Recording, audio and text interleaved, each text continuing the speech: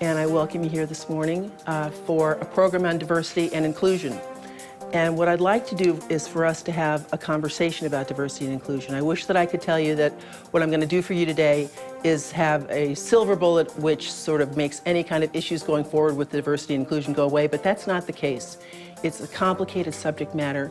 It has a lot of nuances and a lot of issues. So what we're going to do today is sort of just start the conversation and um, hopefully I can give you some tips or pointers or actually even tools to sort of deal with the conversation as you go forward in, in the workplace. Uh, just a little bit about myself. I've been a lawyer for about 35 years. I was a trial lawyer, I was a um, bond lawyer, and then I worked for the government for a while. But at this point in my life, I realized that I've had enough experience with diversity and inclusion issues, and I think the subject is important enough that um, I've taken it on as uh, sort of a, a, charge to go and talk about the issue and to get people to start thinking about it in a somewhat different way, which I'll explain a little, little bit later as we go on. So what I'd like us to have is an authentic conversation. And when I say that, I mean I want you to think about what we talk about here today and uh, measure it from your own personal experience. How does that sound to me? Have I had this experience before? Does it irritate me? Do I like it? Um, what, is, what is your personal feeling about the topic that we're going to discuss, diversity and inclusion? And kind of by its nature, when you have an authentic conversation, it can be uncomfortable, right? Um, and it's automatically uncomfortable because when we talk about diversity, we're fundamentally saying there's me and there's you. There's a difference between us. That sort of starts you off or starts one off on a path that's a little uncomfortable. But as long as we understand that um, and know that that'll be part of what we're going through, um, it'll be more, more acceptable. acceptable.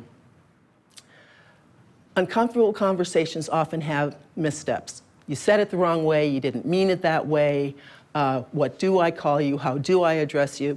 It can be sort of messy, but that's what I'm going to open us up to today so that we can have this authentic conversation and kind of trust that it can be a little tricky and a little messy. But that's okay because, again, that's just the nature of what this is. And again, it's very personal. It's me, it's you, and that sort of makes a distinction between us. It can't help but be personal. We're talking about being different from each other.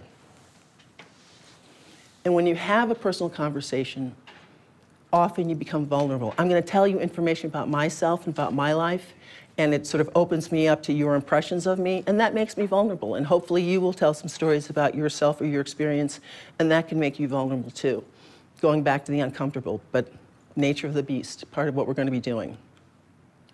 But I'd like to emphasize that we're all on the same team here. We're all trying to have having this, this dialogue. So we have the same goals and we're all on the same team. So with that as our spirit, I think we can have a very um, thoughtful and helpful conversation. So this is my favorite quotes. I hear and I forget. I see and I remember. I do and I understand. So today, it's again, it's not going to be about my lecturing you. It's going to be about a conversation, and we are going to do. We'll have certain exercises. We'll have goals, personal expressions. We'll do a vignette where um, most of you will play a part in the vignette. Uh, we'll break into smaller groups and have a conversation about what the vignette means. And then we'll go into unconscious bias discussion. Uh, that's really in the news a lot lately, and it's a really important topic. I'll sort of talk about what unconscious bias is and give you some questions so you can take a look at your perspective on this, and then review some stories in the news. So how diversity and inclusion is really operating in our world today.